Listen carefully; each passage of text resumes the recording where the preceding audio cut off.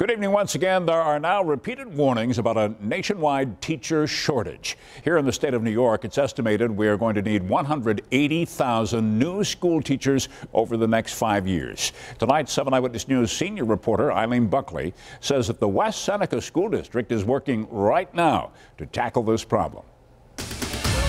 First graders at West Elementary School listen up. All right, are we ready for math? As their teacher asks for their attention.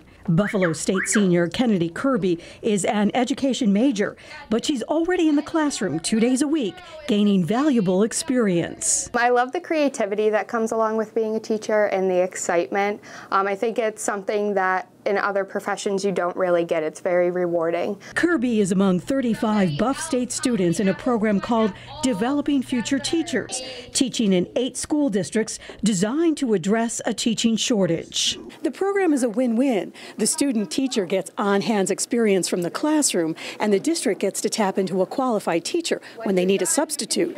Buffalo State mathematics professor Sue McMillan says this program is critical to rebuild a teaching workforce. Well, I can say for our own program, we used to have 40 or 50 student teachers that wanted to be secondary math teachers, and now in a year, we're lucky if we have 10. So the numbers have really declined. President of the West Seneca Teachers Association, Joe Cantafio, says retirements is a big factor for the teaching shortage. You know, when you look at some of the numbers, they're pretty shocking. The fact that one third of all current teachers could are eligible to retire right now. I've been in, I think, every grade now, kindergarten through fifth. Um, I've been in gym.